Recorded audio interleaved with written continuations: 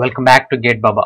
In this lecture, I am discussing the stability condition of floating bodies. Okay, in before lecture we will deal with the submerged bodies. That is very easy case, but the floating case are not easy. These are somewhat difficult. Why? Because whereas in the case of fully submerged condition, the volume of fluid is not changing. The shape of volume will change with rotation, but the volume content will not change. But whereas in floating condition, here you can see initially the volume of fluid displaced is this much only. Okay, this cross section area multiplied with the the width. Okay, so this is the initial volume. After tilting, what is the volume? Volume on one side decreases, whereas volume on volume on other side increases.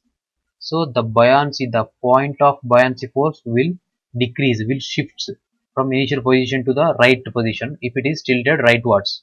Okay, so that is the difficulty here. Whereas in submerged condition, the volume of fluid is constant. Whereas in floating conditions, due to the tilting action, some some some fluid is displaced in the right direction, whereas some fluid is dis not displaced in the left left side so it is not sufficient to express the stability condition with just with just knowing the g and b locations okay whereas in submerged condition we if we know the locations of g and b we can say whether it is stable unstable or neutral. But in floating conditions we can't say directly by looking at the picture. Okay? Because of the the unequal volumes. So some extra parameters needed to define the stability. That extra parameter is called the meta center. That is nothing but capital M represented with capital M the meta center the meta center is obtained by intersection of the initial line of the initial vertical line with the new line of buoyancy force. Okay initially the line of buoyancy force is vertical upwards. Okay exactly matches with the g in this case. If we tilt the condition if we tilt the body if we tilt the ship this is a ship cross section front view by the way. If you tilt the ship then the line of action of buoyant force will change so the if you extend the line of action of force and if you extend the if you extend the initial central vertical line okay at the at the intersection point that is called the meta center okay but why it is not sufficient to describe the stable condition with just G and B. The technical reason is I, I explained the theoretical reason. The technical reason is if if the weight of the if the weight of the body in the right direction is much more when compared to the left left side. That means some some containers are very heavy in the right side direction whereas some containers are very light light heavy in left side direction. That means the mass is unevenly distributed. So if mass is unevenly distributed then the center of gravity will change. So the line of center of gravity is here. For example okay it is the line of center of gravity i am rotating this body i am tilting the body in clockwise direction. And the couple and the couple also if you just join the head with the tail it is also clockwise couple. So it is unstable condition. Whereas if g is in original location then it is stable condition. Why? Because it is producing anti-clockwise couple. Okay the clockwise couple is cancelled by anti-clockwise couple. Okay here the case is same the b is the same point and the g is above okay? So g is above b. That means that is the case of unstable equilibrium in the in the submerged body. But here the g above b is giving two conditions the stable condition and unstable condition okay? That's why another parameter is needed to describe the stability. If m is above g then definitely it is a stable condition. If m is g, below g then that is unstable condition. Okay? From this diagram i can easily say that if m is above g that is creating anti-clockwise couple whereas i am i am giving the clockwise turn. So it is cancelled by the anti-clockwise couple produced by the buoyancy force and the weight. Okay? So if m is above g then that is a case of stable. If m is below g then that is a case of unstable equilibrium. If exactly m matches with g then that is a case of neutral equilibrium. Everybody knows. If metacenter is above g what does that mean? That means the gm value is greater than 0 then that condition is stable. If gm is equals 0 then that condition gm is the distance between the point g to the point m metacenter. Gm equals 0 that is a neutral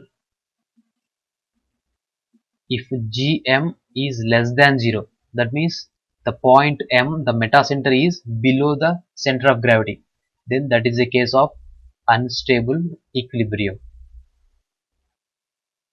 Okay? There are so many repeated questions on this concept in IAS exam.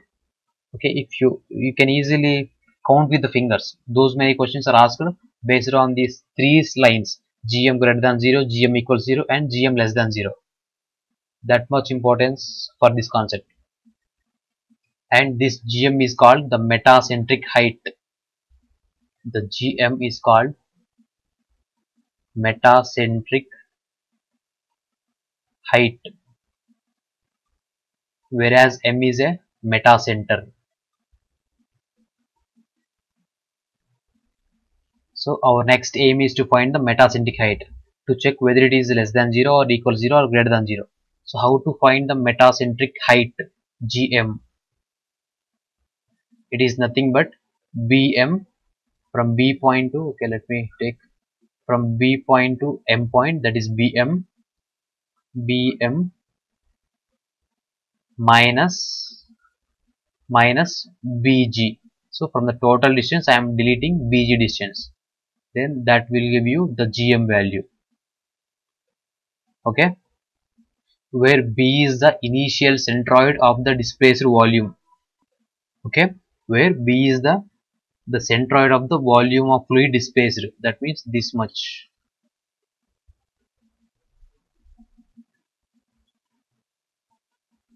B is the centroid of this entire volume.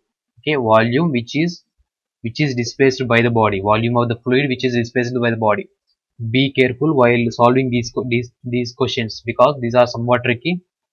You have to be very patient while solving these problems. Okay? And g is the the center of gravity of a body. It is independent of the volume it is independent of the it is independent of the volume of liquid displaced. Okay? For rectangular and cylindrical bodies it is very easy to find the bg value. Okay let me show you that also here it is a free surface of fluid liquid water. Okay. I'm inserting a cylinder. The total height of the cylinder is capital H. And the immersed immersed volume is small h. This much height. Okay. So here what I want to find? BG BG where G is here and B is here the buoyancy force upwards and the graph and the weight downwards. It is a point G. So BG is nothing but h by 2 minus h by 2 yes or no? Where capital h by 2 is up to this much distance from the from the bottom. Okay this much distance. In that distance i have to delete i have to delete this much distance. Okay this is nothing but h by 2 small h by 2 half of length it is half of length. So i am getting this this this value as h by 2 minus small h by 2 for rectangular case also it is same. I, I mean the cubical case not a rectangle for a cubical case. The same formula applies. Initially you have to take the total height divided by 2 minus immersed height divided by 2 this is very important relation. And now come to the calculation again. Gm is given by bm minus bg. Here the bg problem is solved. Now we have to find the bm and that is very complicated part. So I am giving directly the relation for Bm that is I by V. V is the volume of fluid displaced whereas I is the least moment of inertia the minimum moment of inertia. That is the area moment of inertia not mass moment of inertia. Okay what is the meaning for the least moment of inertia? Okay let me tell you down this calculation of metacentric height where gm is given by bm minus bg. Bg problem is solved. We have to find the bm value. Bm is given by i minimum divided by volume of fluid displaced. Okay? So why to take i minimum? And what is the i minimum in this case? I just taken the cross section the cross section of a ship at the free surface okay i'm just cutting the ship above above part of the ship. I'm just cutting the ship above part of the ship. So i'm just taking the free surface. The free surface. Here it is the free surface of the ship. Okay? There are two conditions that the buoyancy force may change its position. The first condition is rolling. If the ship rolls that means if the ship rotates about its lateral axis that means the long axis length axis then the buoyancy force that means the ship is rotating about the lateral axis. This is the case this is the case. So the buoyancy force is shifting towards right or towards left based on the rotation. Okay. And if the ship rotates about its transverse axis that is the short axis then then also the buoyancy force will shift. But it will go into the paper and come out of the paper. That we can't see here. Okay.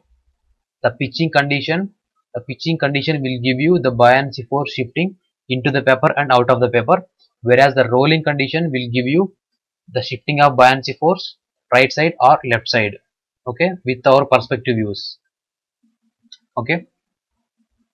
Just rolling is nothing but the the angular deform the angular moment or the angular deflection about the lateral axis the long axis the length axis.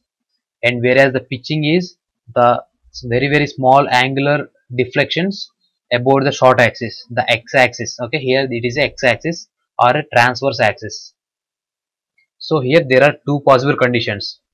Moment area moment of inertia about the transverse axis and area moment of inertia about the longitudinal axis. Which area moment of inertia you have to take? Let me write the formulas for those two cases. The area moment of inertia about x-x axis. That is nothing but pitching pitching okay? That is it is nothing but a rectangular cross section at the free surface. So b d cube by 12 here b is the width. That is nothing but b is given. B. And what is the height? That is l. L cube. Bh cube by 12 or bd cube by 12 it is the ixx whereas iyy so it is also rotating oh, in the case of rolling about the linear axis the longitudinal axis. So iyy becomes width times height by width times height cube by 12 that is width is length. L b cube by 12 here which is greater value? Definitely moment of inertia area moment of inertia about x axis is greater. Why? Because more area distributed far away from the axis whereas in case of longitudinal axis only only the area is very closer to the axis. It is not distributed far away. Whenever the area is distributed far away that gives you the highest value of the moment of inertia. From this values also you can say that here the length is greater than length is greater than the width. So if you cube the length the value is be higher. But in this case the width is cubed. So there will be no that much difference if you cube the width okay so definitely ixx is greater than iyy okay? Now we know the formula that gm the metacentric height is given by bm minus bg that is nothing but bm the general condition is i by v not minimum by v i by v the general condition minus bg here i will tell you why the minimum condition we have to take if i take the minimum value of i value here the minimum value of uh, the moment of inertia here what is happening?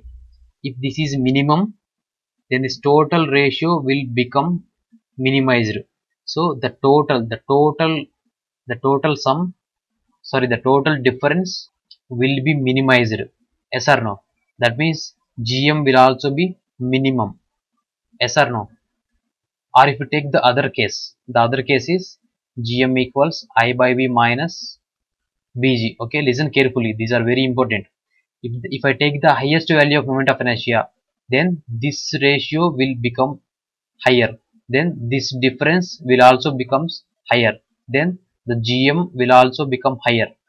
Here my intention is to maximize the gm value because the stable condition gives you when gm is greater than 0 okay but i am taking this condition. Why? Because if i design the ship so that i can get the positive value of gm for longitudinal condition. Longitudinal condition what is the longitudinal condition? That is the rolling. So if i design a ship which will give you the positive value of the metacentric height with the least moment of inertia then that ship will definitely give you the highest the positive value for the pitching condition okay so design for rolling condition. So it is very safer that you can sustain for the pitching condition also. So there is no special design for the pitching condition needed. Why? Because you are you are taking the least value to positive. So if this becomes positive then always always the ixx will be greater than iyy so definitely this will also be become positive. Okay that's why to for the factor of safety we design for the rolling that is the most important thing i want to tell you for this 10 minutes. So design for rolling. So that so that the pitching condition is also adjusted automatically. Okay no need to design extra. So the moral of the story is design for the rolling. That means gm equals i minimum divided by volume of fluid displaced minus bg bg or not? Okay bg bg is h by 2 minus h by 2 i told you the relation also. Okay. In the next lecture we will see the time period of oscillation and uh, the stability of floating bodies which are containing some fluid some liquid. Okay. I don't give you any derivation for those. Just i will tell you the procedure and what is the idea behind them the concept behind those things okay? Thank you for watching